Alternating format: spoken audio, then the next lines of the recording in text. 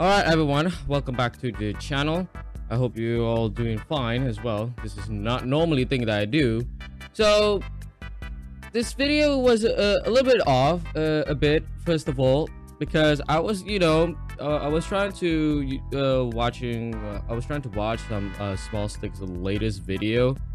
And apparently, I don't see anyone uh, talking about this at all right? I don't see anyone talking about this. Probably is because not a big deal or or some point. But you know what while i was watching a small stick of video i was like man i was just thinking to myself what is jake paul up to?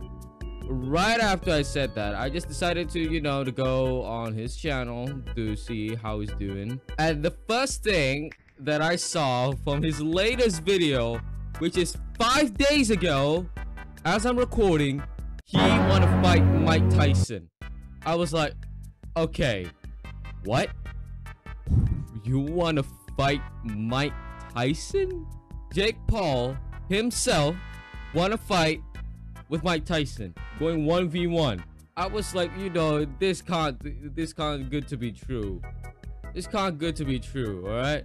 Because Mike Tyson, he is a former heavyweight champion who who has 50 wins, including like 44 KOs. That doesn't count. And six losses, all right? That doesn't count. But he has 50 Ws. And Jake Paul has like what? Uh, one?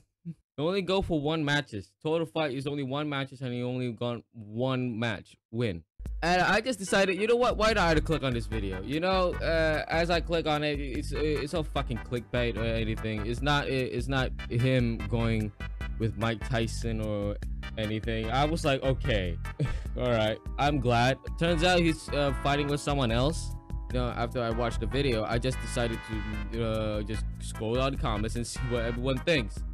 And literally, some people said that Jake Paul versus Mike Tyson, the, the guy's like out of his mind. Yeah, it's the first time that I see. So you know, if if if Jake Paul is going against Mike Tyson. My money, my money is still on Mike Tyson, all right? But let's look on the positive side here because anything can happen. What what Mike Tyson is like 50 54, uh, I think. It's like 50 plus, I think.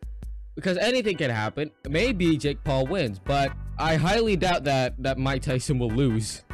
because you because well, obviously Jake did not see his KD ratio is and I also know this topic is not really big or anything, but as for me, I really thought that he's going against Mike Tyson.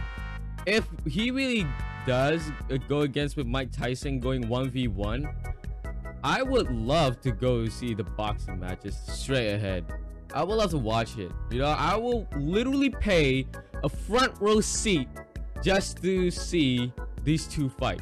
Probably, probably I just, uh, you know, one of the things that I would love to see is just Jake Paul just getting shredded by him. All right, I believe that's about it. All right, see ya.